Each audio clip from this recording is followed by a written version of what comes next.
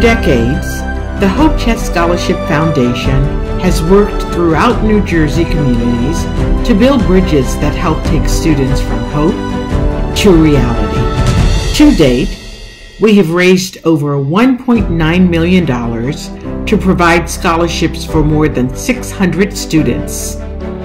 In 2022, the Hope Chest Scholarship Foundation will celebrate 20 years of service as a charitable organization.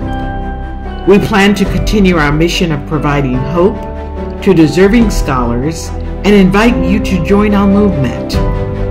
Please visit the Hope Chest website today to be a part of our special fundraising campaign, which officially kicks off on November 12th. The Hope Chest Scholarship Foundation truly brings access to education and build bridges of hope for a brighter future.